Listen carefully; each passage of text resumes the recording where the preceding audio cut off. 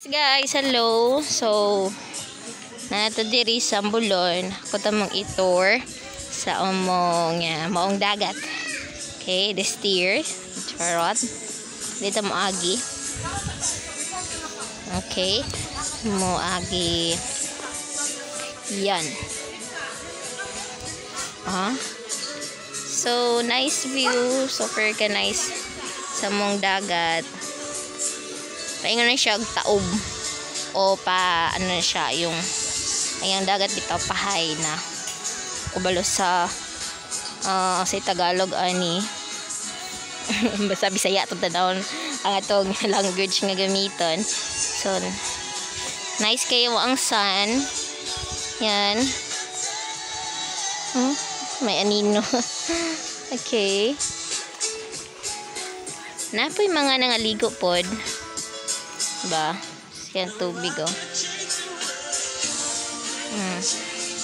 kung naabtan pa na guys kung naabtan pa gid na nga di na siya wala pa grabe tong hunas pa. That area that area that uh, na puti yes. Ay siya forma na siya into heart ah, into heart. Ay siya napita ka area ha? Heart na siya forma diyan na ang iyang balas. Forma og heart But for now, nakanhiman taog ka ng kuan na pataob na. So di na gid nato makita ang maong heart. Pero ito lang gihapon ta mo sa maong area, basin na ganahan diri nga place. Nani sa Ambulon, Vensasagon, Sambuanga del Sur, Mindanao. Oh, Philippines pag yun. okay. O, diba? Nice kayo ang dagat. Ay mga nag-swimming. Ganun. Okay. Na, dito yung mga corals na pa yung mga o dito nga area oh. Nice kayo mga area dito. Okay. Ato. Diba? Nice kayo. Ah. Uh, hmm. Hmm. Medyo init pag kaya tubig. Pero net kaya tubig blue na blue. Clear na clear. Maong dagat. Kung mani mo dire, mo visit mo. Uh, welcome kayo ang Ambulon. Uh, beach. Ambulon beach.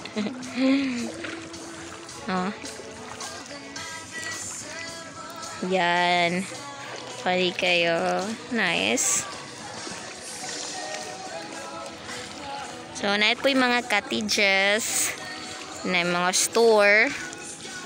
Yan. Na yung mga bidyokihan. Pero make sure lang yapon ha. Wear your mask.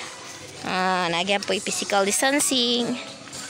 Na may mga gatherings pero uh, 30 to 50% ilang dawaton lang. Dili kayo tanan. Nalang gihapon ta manggid sa COVID-19 so para iwas po di ba? Yan atong si